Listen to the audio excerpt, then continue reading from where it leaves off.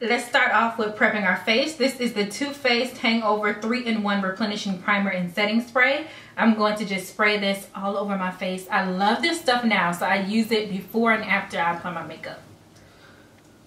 Now to wipe away some of this excess oil, I'm going to be using the Too Faced Primed and Peachy Cooling Matte Skin Perfecting Primer. This is also one of my new favorites. Too Faced has some really good setting sprays and primers, so I'm just going to go ahead and smooth this all over my face. I'm oily everywhere, so I'm to put it all over my face. Listen, babies, if y'all have really oily skin, don't get frustrated because we tend to age beautifully. So, love your oily skin. So we're not done priming yet. Now I'm to use my Benefit Pore Professional. This is what I use to go ahead and fill in my pores. Since I do have larger pores on my cheeks, I am just going to apply this only in my cheek area to go ahead and kind of blur these large pores. Prepping your skin is really important because if your eyes look busted, but you got some flawless foundation, trust me, you can pull that look together. Now let's go ahead and work on these busted eyebrows. What I'm going to be using is my ColourPop eyebrow pencil in black brown. I use this in every last one of my videos. So if you watch me, you already know. I love this pencil because it's so easy to use. It grips the skin. It goes on and glides on so smooth and so easy. You really don't have to put in a lot of work to get some flawless eyebrows. So that's the reason why I love this pencil. Now to clean these eyebrows up, I'm going in with my LA Girl Pro Concealer in Espresso. Y'all already know the drill. This is my baby. This is my holy grail. She ain't going nowhere. She's here to stay.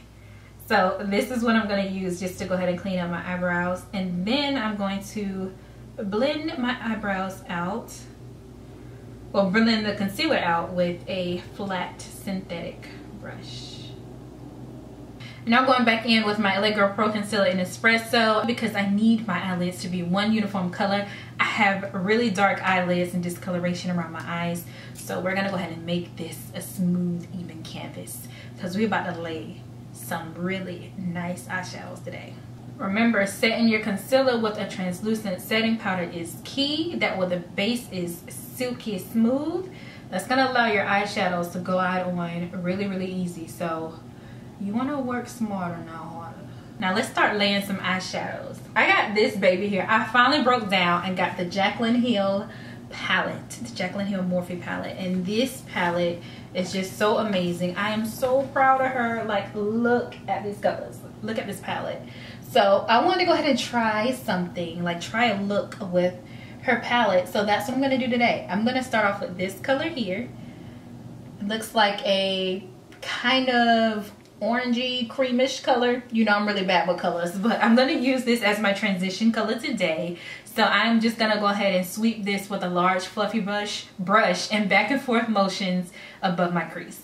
Y'all i'm here for this palette so far because normally these type of colors look so ashy on me but you know they're showing up pretty good just to start building up some warmth in the crease, I'm going to apply this color here, which is right next to the color I just applied. And I am going to use the same fluffy, fluffy brush and apply this into the crease. I'm just going to go ahead and build some colors up in the crease so that they start to look a little bit warmer. Now to give my crease a little more definition, I'm going to blend these two colors here together and apply this in the crease with a slightly denser brush. I still want this look to look really, really soft, so I'm going to go in with a soft hand and start blending these two colors in the crease.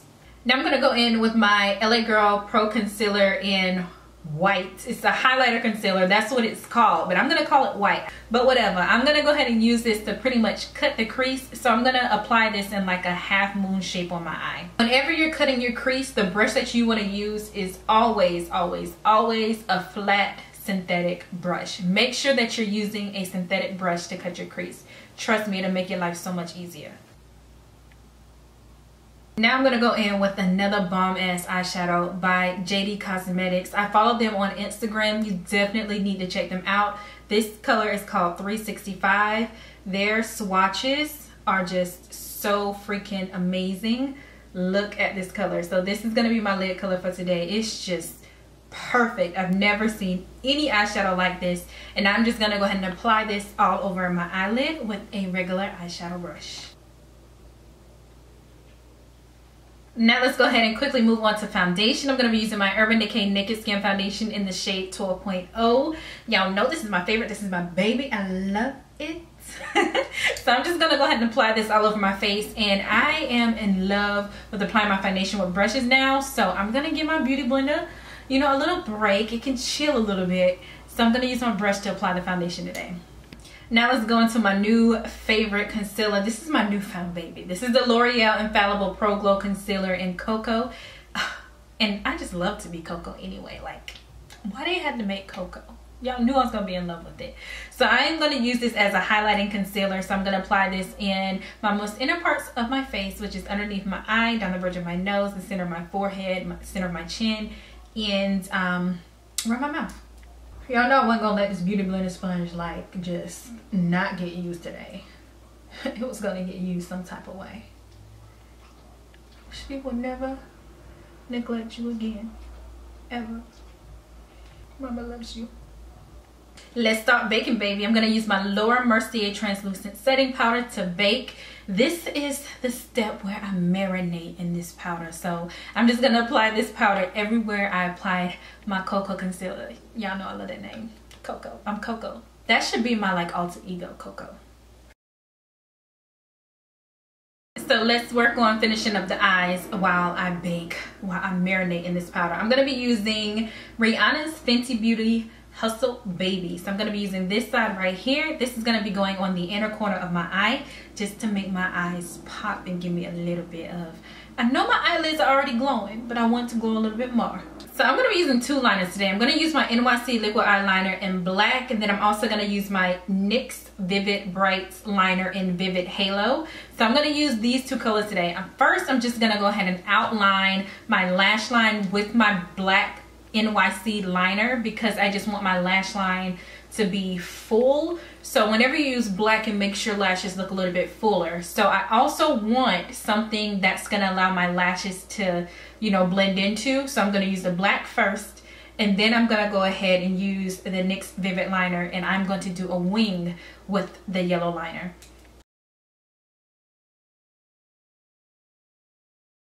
Now I'm going to take my new favorite powder, which is the CoverGirl Medium Deep Powder. And I'm going to put this in all the areas where I don't have any setting powder, just to go ahead and set my foundation. And then after that, I'm just going to go ahead and wipe off my setting powder. Now let's do some really good contouring today. I'm going to use my MAC Studio Fix powder in NW58 and I am going to use this to kind of bring my cheekbones forward. So I'm going to put this underneath my cheekbones, around my forehead, down the sides of my nose, and a little bit on my chin. Trying to give my little chubby face some shape. To stay true to the yellow, I'm going to use a MAC blush today and I'm going to be using this one right here, which is MAC Peaches Blush, and I'm going to apply this to the apples of my cheeks. This is going to give me a really soft blush look. So for highlight today, I am going to be using this beautiful baby here, which is by JD Glow Cosmetics. This is the pressed highlighter in Pure Bliss. It's so freaking gorgeous. I love it. So I'm just going to go ahead and highlight with it. It's the first time I'm going to be using it. So we'll see how this goes. Oh my god. It's so pigmented. I gotta switch my brush up a little bit. And I'm gonna use my finger. Oh my god, this is so freaking pretty. So for my lips today, I'm gonna be using MAC Chestnut Lip Liner.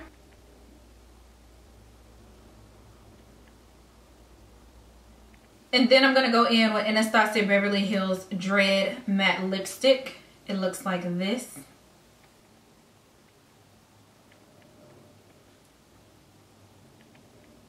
Because I'm so glowy, I got to gloss it up a little bit. So I'm going to use Anastasia Beverly Hills Lip Gloss in Warm Bronze.